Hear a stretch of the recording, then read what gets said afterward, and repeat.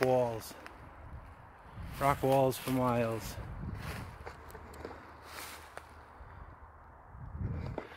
Just got a first good signal out with Kevin.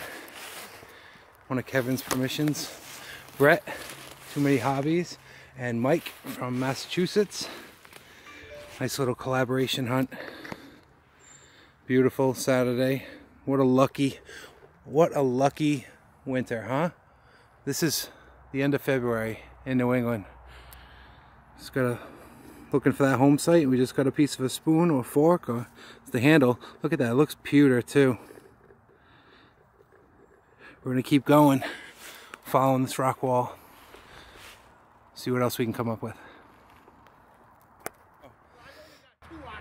Yeah, my first ox knob. That rang up beautiful. Awesome. I'm excited to have that. It's funny when you find your first anything, you know, that's on your bucket list. And uh, being in Rhode Island, Connecticut, Massachusetts area, those being the areas I hunt, these are pretty common. But, uh, you know, certain bucket listers can be elusive for people. And this thing, uh, it's my first and I haven't been able to find one. I mean, ox oxen shoes horseshoes they're, they're, they're everywhere in places like this but uh the ox knob was elusive there for a few years. We got one now. We're working around this hole now. Well the wall. That's the cart path in. A lot of signals in here.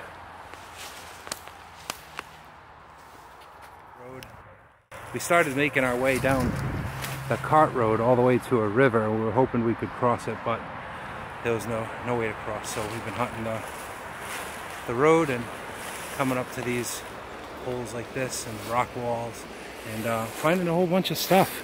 Just pulled a, a reins guide out in perfect condition. That is awesome. I'm gonna tackle inside here, go nice and slow, because this is, I mean, as you can imagine, it's loaded with iron. Look. Yeah? Mike's pulling modern nails. As you can imagine the amount of iron, there's junk everywhere. But if you go nice and slow, oh, this is this is leather. That's that's some old leather right there. How cool is that with the hole still in it? Oh, there's more of it. That is awesome. I mean, you're at places like this, right? And it's all overgrown now.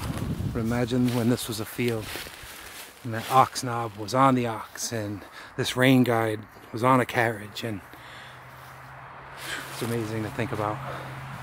That's why I do this stuff. We got a nice 15 right here, even with the leaves gone. See what we got. A lot of signals around this hole. We got a beautiful lantern part. Look at that, the knob. I'll clean that up at home. I might be able to get some information off of it. It's pretty caked up right now. But uh, you know, this is pretty much a surface find. it's only like maybe an inch deep.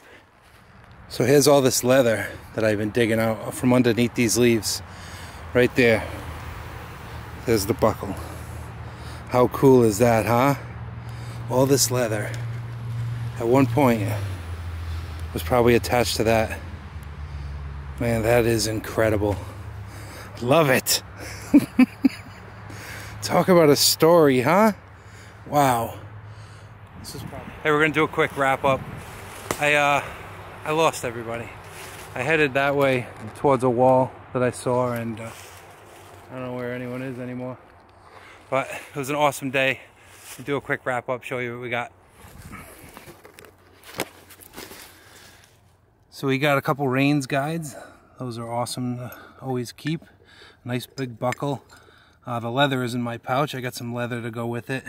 That's the pewter spoon fork handle lantern knob. Those are always awesome. Most of the time you can get some details off that to actually date it. And my find of the day, which my bucket list item is the ox knob.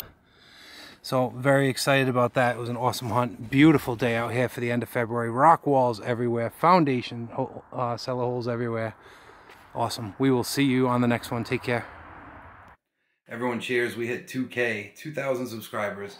Uh, I want to say thank you. I re really appreciate it. You know, me and my dad going out every weekend digging holes and you guys following us around. Some great collab hunts like today with Kevin and Brett and Mike up in Connecticut. That was a, that was an awesome hunt as well. So we're going to do a 2K giveaway. Let me flip you around and show you what we're doing.